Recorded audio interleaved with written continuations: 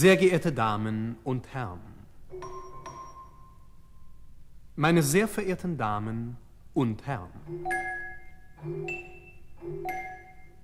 wenn ich Sie heute aufmerksam machen möchte, dann ist aber klar, dass auch hier wiederum das Urteil die Flut der speziellen Ausdruckswerte, in denen eine Bewegungsidee sich kundgibt, eindämmen und ordnen muss, wenn wir nicht völlig darin versinken sollen.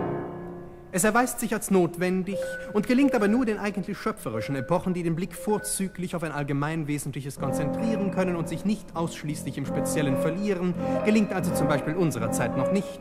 Es erweist sich also als notwendig, die Menge der Einzelheiten wiederum in größeren Komplexen zu sammeln, die sich um gewisse ausgeprägte Stadien gruppieren und diese wieder zu einem eigentlichen System von musikalischen Formulierungen.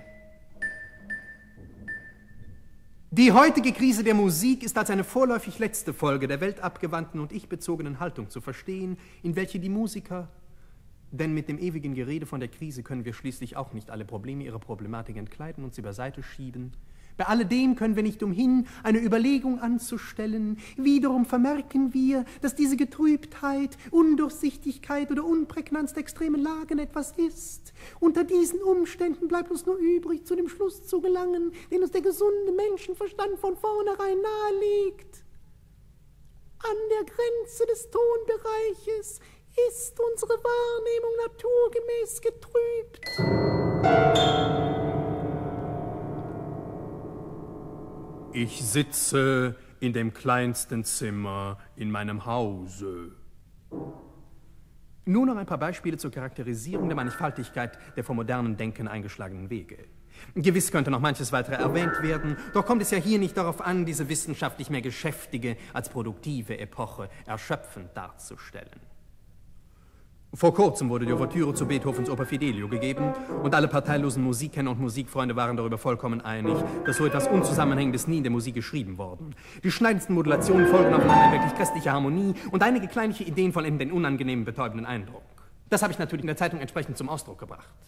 Selbst zwar hat die Krise fast schon überwunden. Zu anderes ganz muss beherrschen Ausdruck musikalischen oder sprachlichen, den auch Element mimischen, dem neben der Darsteller dem von das, selbstverständlich ist es ist aufzubauen, Wirkungen und Voraussetzungen völlig neu auf Produktion, die somit das wird Entstehung Gattung neue, eine theaterakustischen, dem mit prinzipiell das sein, klar darüber sich muss man.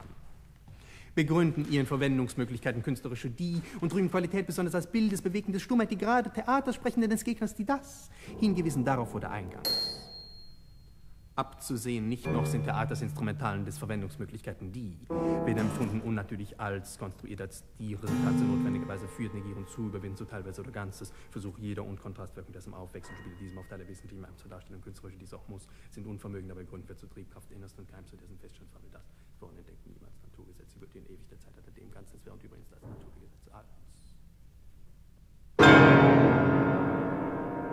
Ich zitiere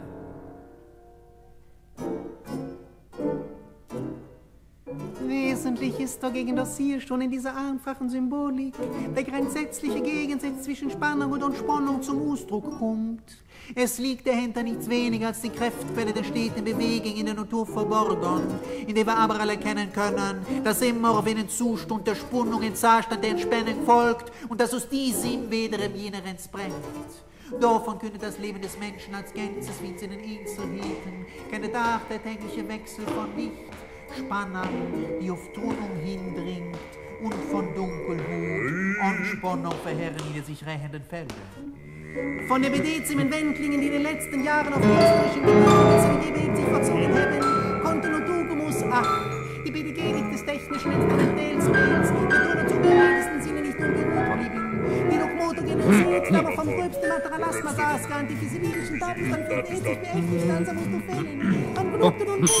Sie muss, sie, sie muss so dann die versäumte Auseinandersetzung nachholen.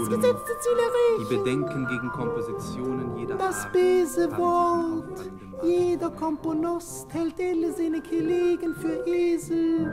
Und jeder hat recht, kennt sich nicht schlägend die Situation. Zitat zu Ende. Oh!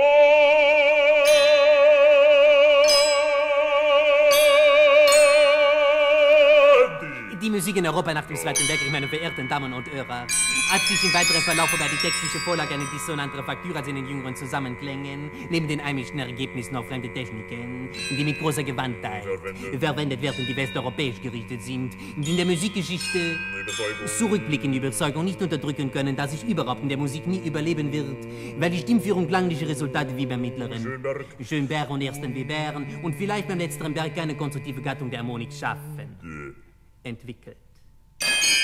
Die Hauptfrage dieser Werke liegt also im Kontrast zwischen harmonischer und polyphoner Richtung. Dieses künstlerische Agon brachte außerordentliche Resultate, weil, und das können Sie laut sagen, meine und meines Vaters Grundsätze antiramoisch sind. Dieses vorausgestellte Motto lässt erkennen, und in diesem Sinne haben wir es, bei dem das Hohe nach dem Tiefen und das Tiefe nach dem Hohen an seinem Platze ist, dass die neuere Musiktheorie Musikästhetik, es sei denn, man uldige dem Physikalismus, so kann man sagen, da der relativ einfachste Ton nicht unten liegt, wie sich eine Abstufung zwischen Begriffsbildung und Musik denken, wie ich die Frage stelle und von welcher Seite ich sie beantworten will. Mein vorliegender Bericht kann aus zweierlei Gründen nicht erschöpfend sein. Einmal haben diejenigen, über die ich sprechen will, die jungen Komponisten, noch nicht ihre letzten Worte gesprochen, sondern sind erst kürzlich mit ihren Werken hervorgetreten. Zum anderen kann ich mich nicht lange bei einzelnen Personen einer genauen Kennzeichnung der Ereignisse und Erscheinungen aufhalten, die die Grundlage für die augenblickliche Lage des musikalischen Schaffens in Europa bilden. Eine solche Charakteristik erfordert eine umfassende Einführung. Ich ziehe es daher vor, nur in ganz gedrängter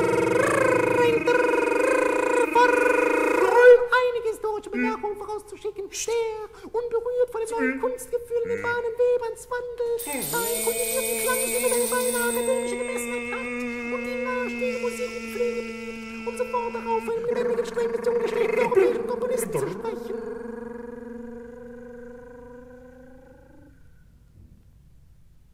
Das Wort Jung fordert hier eine nähere Erklärung.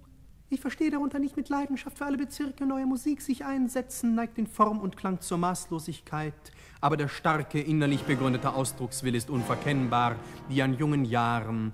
Denn einige der eben erst in die Reihe der Komponisten eingetretenen Künstler gehören ihren Jahren nach nicht zur frühen Jugend, die kein Verhältnis zur neuen Musik haben, aber mit ekstatischer Hingabe und Inbrunst neuere Werke musizieren, die es aphoristische Musik in Bezug auf ihre Anschauungen, Prinzipien und Schaffenskraft, ihre Traditionsgebundenheit hinwegtäuschen.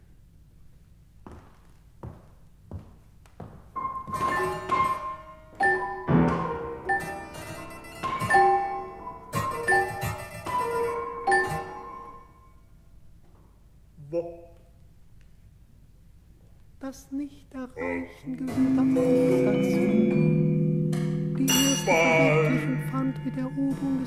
Und seines Ausdrucks. Es wäre ein großes Missverständnis, wollte man die oben erwähnte schöpferische Einsamkeit der jungen Komponisten, welcher sich die neuen Stilgrundlagen entwickelt haben. Das neue Erleben von unerwarteten Hörmöglichkeiten stellt sich auf sich selbst. Eine unsachliche Basis ist erreicht.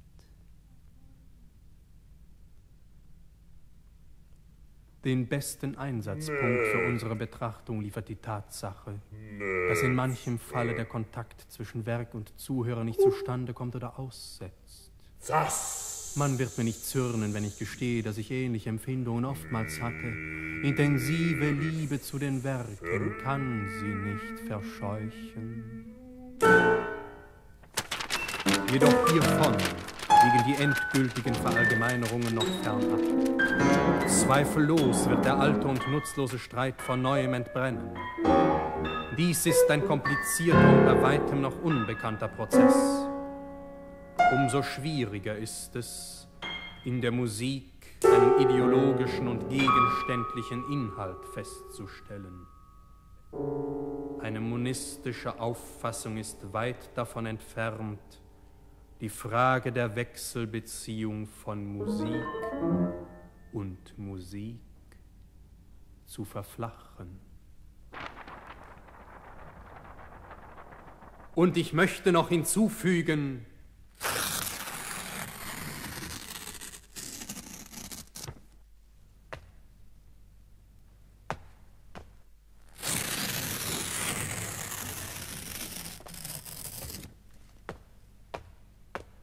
Ein bedeutender. Bedeutend, weil nicht selten der langjährige Erfolg der musikalischen Werke höheren Stils in demselben Milieu von der qualitativen Beimischung gerade dieser allgemeingültigen Gefühlsreaktionen unmittelbar hervorrufender Elemente abhängt. Oder anders ausgedrückt, der Elemente, die der großen Menschenmenge verständlich sind, an die das Gehör gewöhnt ist, auf dies passiv wahrnimmt. Und doch habe ich damals geschrieben, in Aufsuchen zerreißende Dissonanzen, gequälte Übergänge, schneidende Modulationen, widerwärtige Verrenkungen der Melodien des Rhythmus ist der ganz unermüdlich. Alles, worauf man nur verfallen kann, wird hervorgesucht, um den Effekt bizarrer Autorität zu erzeugen, zumal aber die fremdartigsten Tonarten, die unnatürlichsten Lagen der Akkorde, die widerhaarigste Zusammenstellung die Kraft der Fingersetzung. Komponisten wegen so lange Philippiken halte. Hätte dieser Chopin diese Komposition einem Meister vorgelegt, würde Füße geworfen haben, was wir hiermit symbolisch tun wollen. Es klang, als wenn eine Herde Ratten langsam zu Tode gepeinigt würde und dazwischen von Zeit zu Zeit eine sterbende Kuh stöhnte.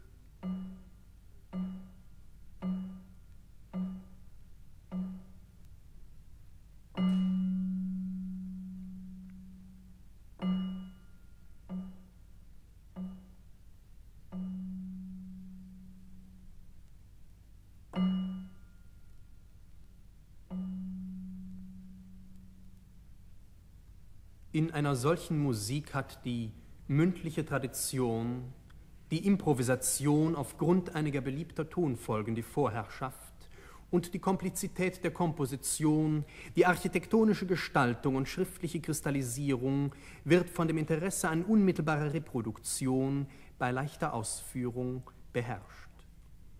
Nirgends bestehen so extreme Gegensätzlichkeiten der Ansichten als auf dem Gebiet derjenigen Zeichen und Anweisungen, die unmittelbar der praktisch klanglichen Ausführung einer Musik dienen.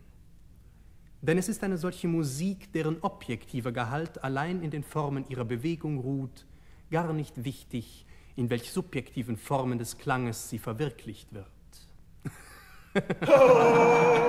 der Mutterkomplex ist stärker in der Frau als der Künstlerkomplex.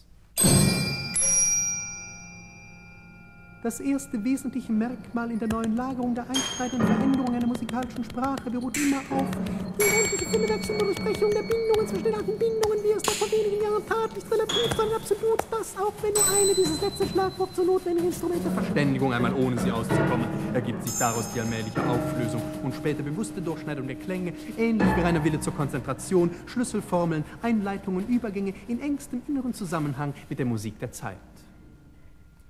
Beiden gemeinsam aber ist der Verzicht auf alle rein formalen Vorgänge. Und so werden auch die Komponenten gegenüber angenommen durch gebauten zunehmende Differenzierung des Ausgewogenheit, was dem Fernsehenden den Weg zur neuen Musik noch immer erschwert, wie jene zweite Symphonie Beethovens, ein krasses Ungeheuer, ein angestochener, sich unbändig windender Lindwurm, der nicht ersterben will. Und selbst verblutend im Finale noch mit aufgerecktem Schweife wütend schlägt. Ich habe Ihre Kritik vor mir. Diese Bedenken sind ebenso verständlich. Es ist doch ganz natürlich. Aber gerade dieser Vergleich zeigt, wenn nur noch versucht wird, so soll es absichtlich mit möglichst einfachen Worten geschehen. In diesem verhängnisvollen Zeitpunkt geschieht ein unerwartetes Zeichen. Hier erschien jede Verbindung abgerissen. Eine reiche Literatur entstand aus dem offiziellen Musikbetrieb, die sich ihre eigenen Ausdrucksmittel schuf. Lautenbegleitung. Die Zahl würde wohl sehr gering sein, wenn nicht gleich null. Es wäre die Mühe wert, nachzuforschen, in wie vielen anderen Fachzeitschriften diese Zeilen gleichzeitig hinaufsetzen. So sind die häufigsten Entstellungsmerkmale. Willkürliche Retardandi, herbe non vibrati, übervibrati. Dehnung der Verschmelzung. Willkürliche Retardandi, übervibrati, starre Wechsel zwischen Fort und Piano. Herbe non vibrati. Polyphone Intelligenz, gefühlselige Crescendi und Diminuendi. Dehnung der Verschmelzung. Überbetonung der Nebenstimme, lebendige Staccato, herbe und vibrati. Flirtende Ausschmückung und willkürliche Retardandi. Mit einem Wort. Verdeutlichung. So ist es tatsächlich bis heute gewesen.